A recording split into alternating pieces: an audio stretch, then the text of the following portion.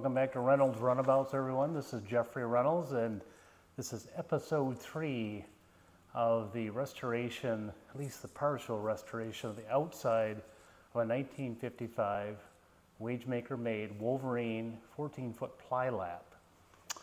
And what I've discovered, I spent 12 hours on the stripping using TotalBoat Stripper. I did the whole bottom and then the half the transom.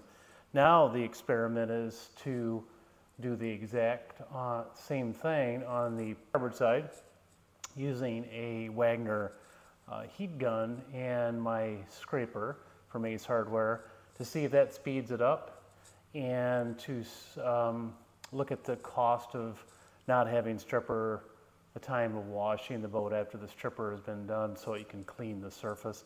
And um, I found it to be really easy. It completes the stripping of the transom. Here you can see a comparison side by side. Uh, to my left would be the paint gun or heat gun. To the right would be the TotalBoat stripper with the same ace um, scraper. Pretty similar, um, twice as fast from what I can tell. So I'm on to now the bottom of the boat and I knew it went up pretty quick when I tested it, so I'm expecting great things. So back to work.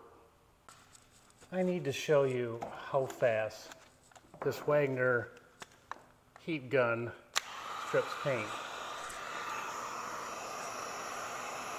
I put it relatively close. You can just see a little bit of a red shadow on the paint. And then the next step, you'll see it bubble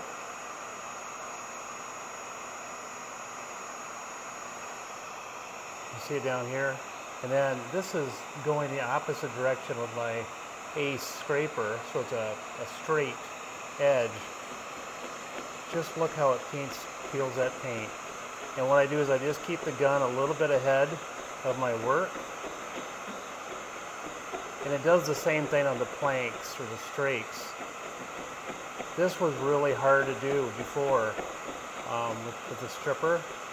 I just lately let it ride on that strake, the garboard strake, and I just keep that gun right there where the work is, and it just peels it off like a ribbon. Um, these, like we talked about before, they have different bevels on every one, convex to concave, and with that, this is what I've been doing with those. Again, I go ahead and I heat it.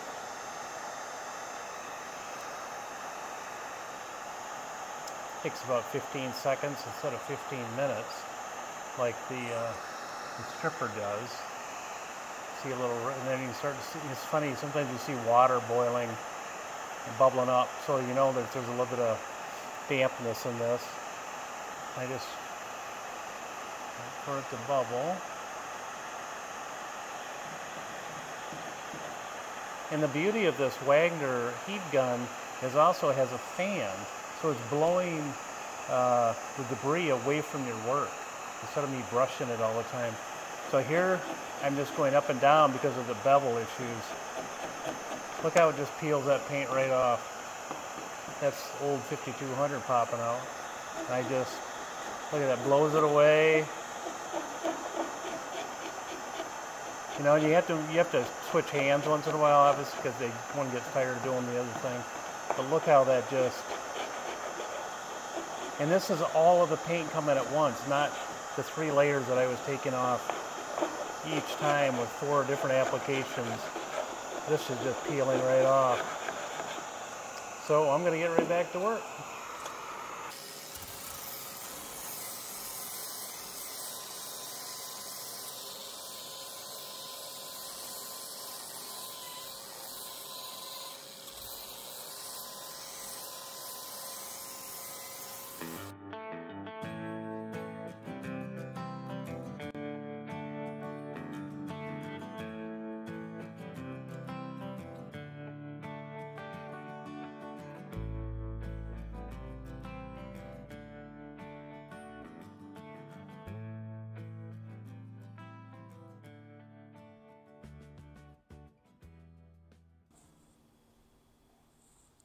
I'm working on the starboard side of the boat where the color was. It was black, but I was pretty sure it wasn't going to be black originally. And here you can really see what's happened. You've got the black, you've got the gray primer. You always use a gray primer under a, a dark color. And then you see a blue and then a white. White is used for brighter colors as a primer. So there's your primer, there's the blue, and then the gray primer and the black, which was done by a later res restoration. I'm thinking about 2012 from what I could tell from the registration stickers that I took off already. So 1955, uh, Wolverine uh, boats came in with options of a two, two different types of blue, aqua or superior blue. I am not sure what color this is. I do know that in 1955, it's a dead ringer for the Pettit brand Bikini Blue.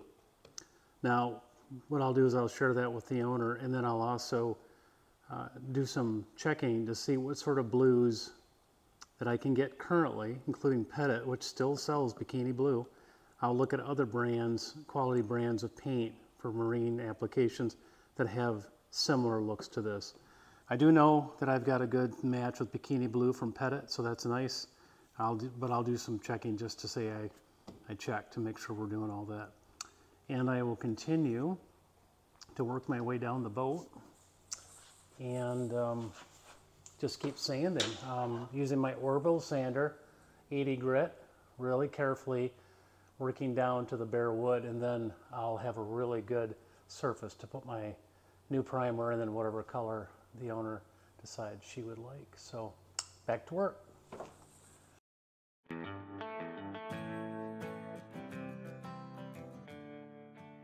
I've got the sanding done on the boat, uh, bright spots and color. And in order for me to do this well, I'm going to release the, um, this is the steering block for the steering gear. So I will take the nuts off the back side, pop these out, give me a flat surface to work for with. And then when I go to put this back, after we have varnish and stain back here, I will put these back and um, then varnish over them like they were here. Um, and probably I'll reseat them with 4200 by 3M. Um, again, it's on the side of the boat, gets water on it. It'll protect the wood, and then it'll be protected by the multiple coats of varnish as well. And I have the same issue down on the stern where the pulleys for the stern area are located that then go right to the motor. So I'll take those out as well and finish this topside sanding. And then I'm going to have to uh, remove the splash rail. Um, it's, it's, I can see cracks between it and the hull and dark spots, which means water's gotten through there. So what I'll do is I'll take that off, finish sand the top part, and then I'll rebed it, and it fastens from the inside of the boat. So I'll rebed it with 5200 by 3M. That'll give it a good adhesion and it will seal out water from getting in in the future. I will also soak it in Smith's um, uh, epoxy sealer to also give it even more protection as I, as I will with the bottom, which will get a barrier coat in addition to that. The bright sides I typically don't put Smiths on, but you can. So I will probably just use the stain and then the sealer that comes with the Pettit a captain's varnish, which is more of a yellow. And the goal is to bring this color back, uh, putting the patina back into the wood that I took out to get some of the dings out in the wood itself. And I'll try to match this color with the stain, which then will match the deck and then the interior, which I will be working on as well. The owners decided to go ahead and uh, strip the deck and just do a light sanding on the interior, meaning the seats and dashboard with uh, again, more coats of uh, Captain's Varnish by Pettit. So that's the plan, and I will get back to work.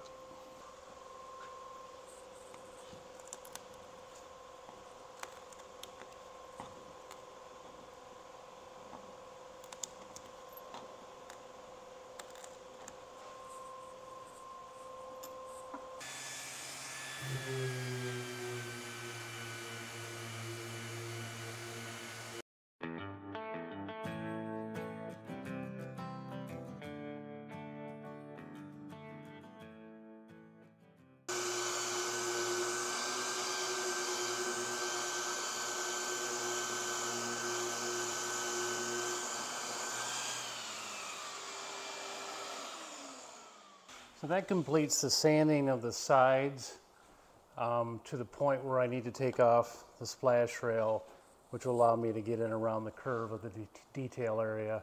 Got a little area up by the rub rail that I might also get with a detail sander, or I might release the top shear rub rail. I see some cracks on one's on the uh, starboard side, and I might have to put a Dutchman in, but I'm thinking I probably will pull it into an epoxy repair because it's not missing wood as much as it's got a crack. So I'm going to do that. So more than likely, not only will I pull the splash rail to rebed it, but also to sand it easier and then put it back with 5200 and fasteners, but also pull the shear rub rail and go ahead and uh, rebed that as well, possibly with new fasteners, depending on how bad they are when I pull them out, and repair the um, cracks if I find them. And of course, be a lot of putty picking, I'll call it, out of those fastener holes, um, at least on the shear rub rail. The splash rail is fastened from the inside, which will have its own challenges, but um, with the boat lifts that I'm using, I can turn this thing on its literally on a vertical plane and um, and take them out really easily, except probably up in the bow, which um, I'll have to do a little crawling around. But for that, um, you know, I have to do that. And then I'll go ahead and finish sanding the bottom, which will be very boring, and I'm not going to bore you with that. So um, I'm going to end this video here and uh, move on to some of the off-camera stuff like sanding out the bottom. But uh, I'll be back in a couple weeks. Thank you for subscribing. If you like the video and the series, please hit the like button. And thank you for attending today, and I'll see you in a few weeks.